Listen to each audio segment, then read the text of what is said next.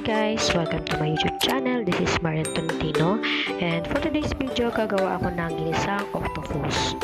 And the ingredients is red and green pepper,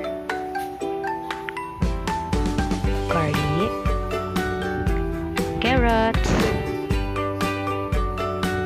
onion, ginger, octopus, whole corn, green peas, mamapsitas, Nordic with seasoning, fish sauce, and pepper. Also, magic sarap and star margarine. Okay, let's start.